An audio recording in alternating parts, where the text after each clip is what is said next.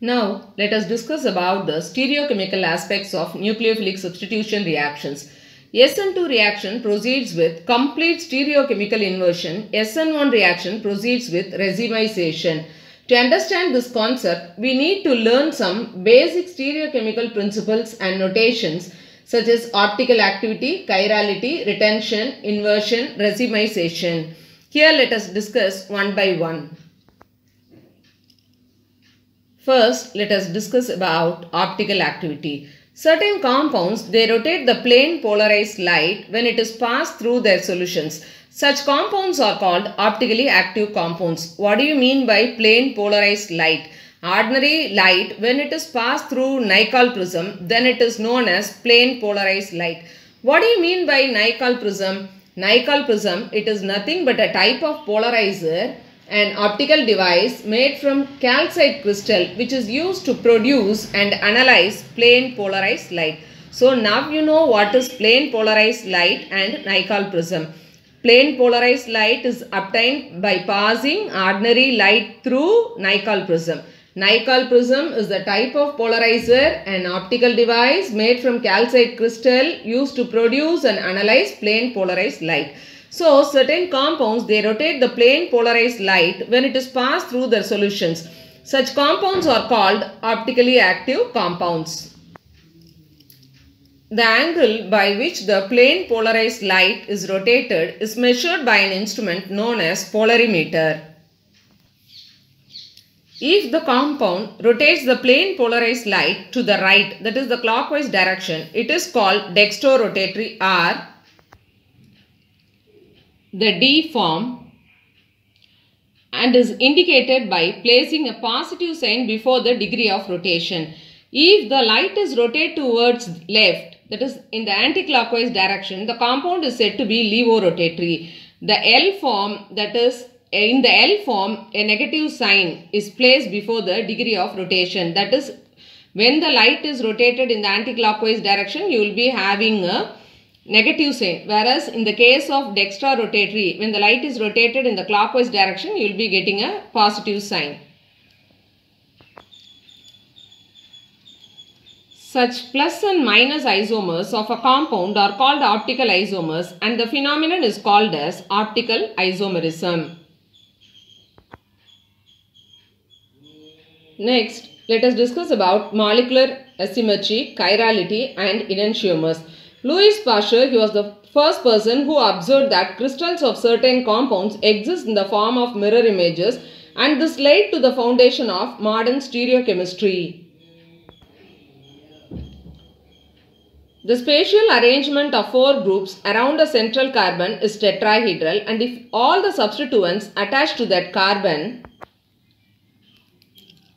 carbon are different, then such a carbon is called asymmetric carbon or stereocenter. The resulting molecule will lack symmetry and is referred to as asymmetric molecule. The asymmetry of the molecule is responsible for the optical activity in such organic compounds. If all the groups attached to the carbon atom, if the four groups attached to the carbon atom are different, then it is known as asymmetric carbon or stereocenter. So the resulting molecule will lack symmetry and it, and it is referred to as asymmetric molecule. The asymmetry of the molecule is responsible for the act, optical activity, is responsible for the optical activity. Let us see some examples that is objects, some examples of objects which show symmetry and asymmetry in day-to-day -day life. Sphere, cube, cone, they are identical to their mirror images and can be superimposed. Many objects are non-superimposable on their mirror images. Example, pair of hands. The objects which are the objects which are non-superimposable on their mirror image are said to be chiral and this property is known as chirality. The objects which are superimposable on their mirror images are called achiral. You should notice that the objects which are superimposable on their mirror images are called achiral and the objects which are non-superimposable on their mirror images are said to be chiral. See, the test of molecular chirality can be applied to organic molecules by constructing models. We can construct models and its mirror images or by drawing three-dimensional structures and attempting to superimpose them in our minds. There are other aids, however, they can assist us in recognizing chiral molecules. One such aid is the presence of single asymmetric carbon atom. We'll discuss with some examples. Let us consider two simple molecules, propan-2-ol and butane-2-ol and their mirror images. Here we are seeing propan-2-ol. Here you are seeing the structure of propan-2-ol. We are having three structures and A, B and C. C is obtained by rotating B by 180 degree. C is superimposable on its mirror image. Here if you see propan-2-ol, it does not contain an asymmetric carbon as all the four groups attached to the tetrahedral carbon are not different. So it is an achiral molecule. See the structure of propan-2-ol again.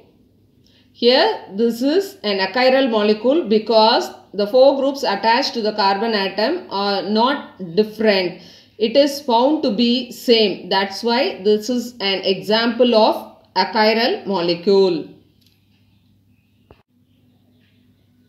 See the structure of butane-2-ol F is obtained by rotating E by 180 degree and F is non-superimposable on its mirror image D. See the structure of what do you see here? If you compare the structure of propan-2-ol and butane-2-ol, this is butane-2-ol. In the case of propan-2-ol, you had same group CH3, CH3 and H. Here we are having four different groups CH3, C2H5, H and OH. So this is an example of a chiral molecule. Chiral molecule. Butane-2-ol has four different groups attached to the tetrahedral carbon and it is chiral. If you see some examples of chiral molecules, you will be familiarized. 2-chlorobutane, 2,3-dihydroxy propanol. See the formula CHO, CHOH, CH2OH. Dihydroxy OH, OH propanol CHO and 3 carbon atoms that's why propane propanol. 2 3 dihydroxy propanol this is the first carbon this is the second carbon and this is the third carbon.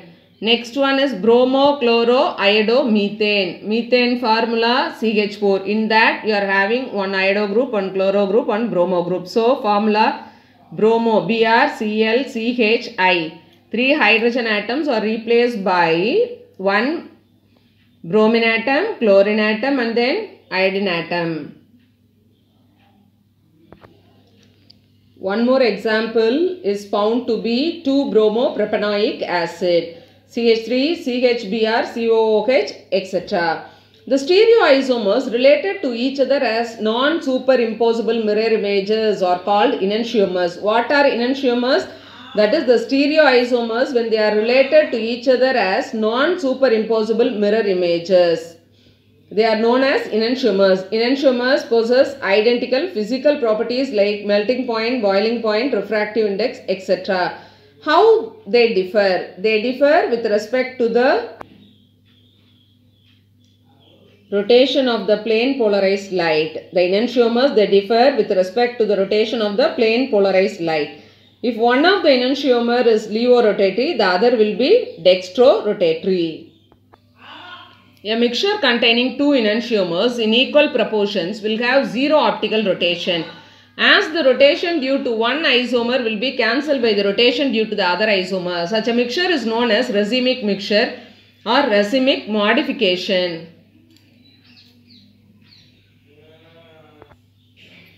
A racemic mixture is represented by prefixing DL or plus or minus before the name. For example, plus or minus butane 2-ol.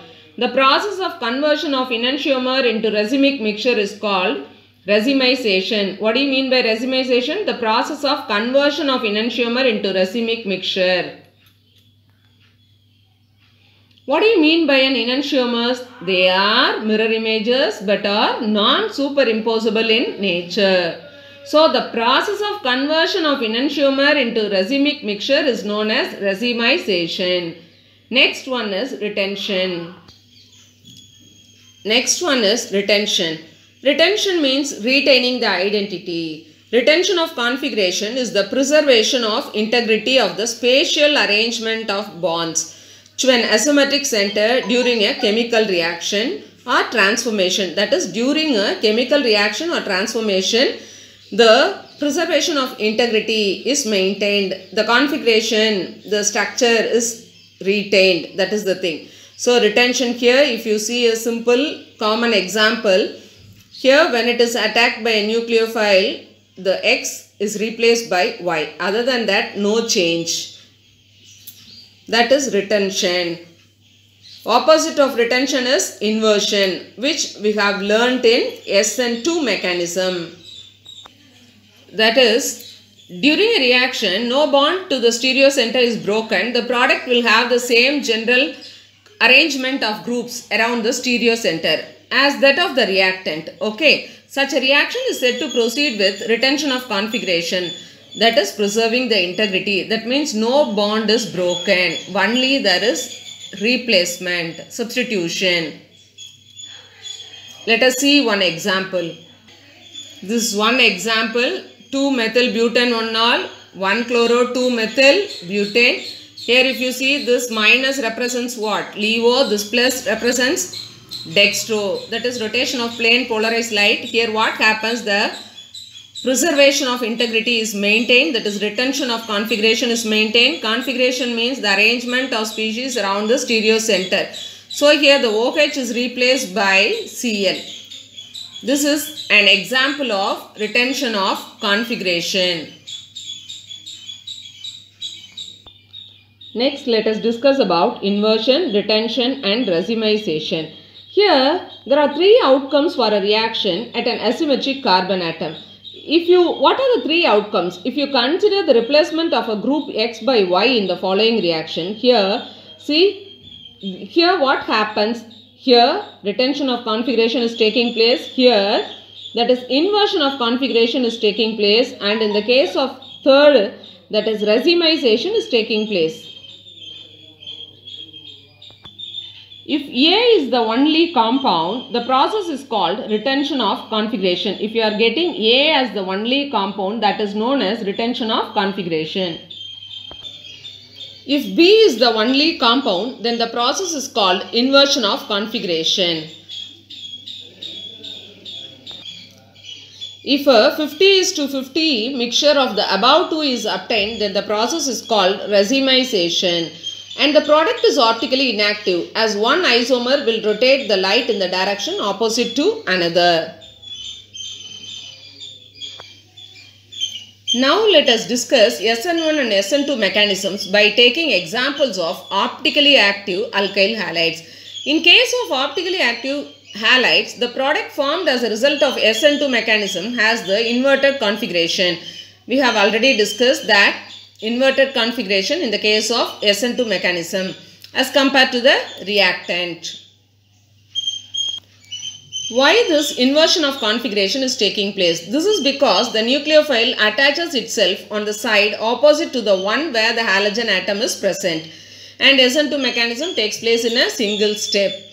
When 2-bromooctane is allowed to react with the sodium hydroxide that is the nucleophile from sodium hydroxide is found to be OH minus Octane 2-ol is formed. This plus represents the dextro rotation with the OH group occupying the position opposite to what bromide has occupied. Let us see that.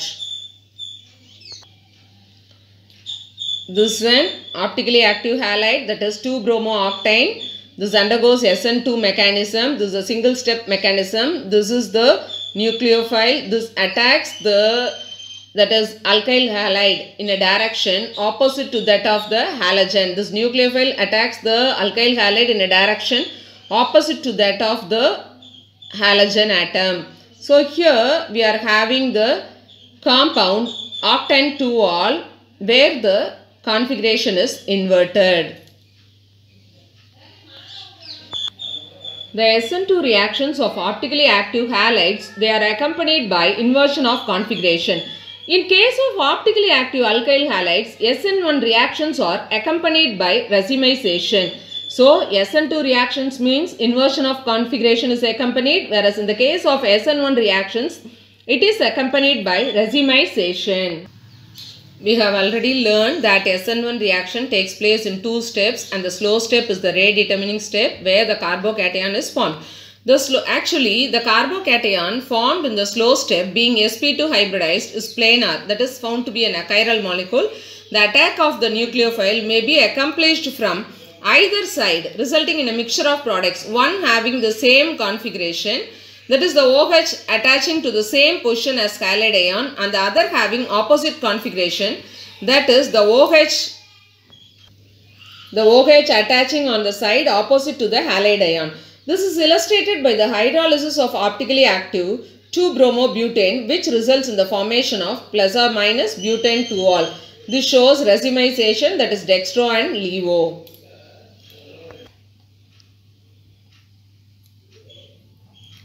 2-bromobutane undergoes SN1 mechanism to give butane 2-ol plus or minus butane 2-ol. First step is the formation of a carbocation. Second step is the attack of a nucleophile where OH minus can attack through this side or through this side. When the attack is through this side, we are having butane 2-ol plus butane 2-ol. When the attack of OH minus is through this side, we will be getting minus butane 2-ol.